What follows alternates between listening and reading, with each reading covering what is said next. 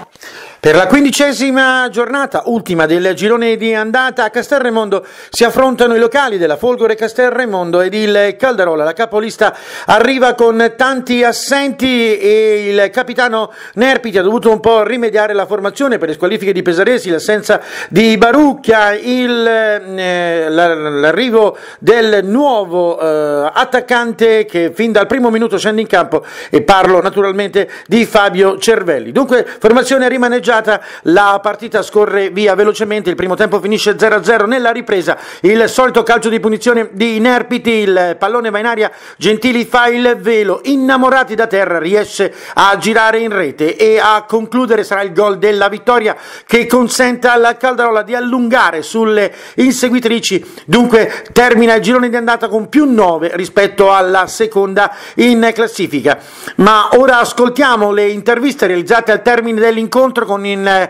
tecnico del Folgore Castelremondo Valentino Amore e il capitano e fra qualche giorno anche allenatore del Caldarola Massimo Nerpiti, linea Lucio Marco Leoni.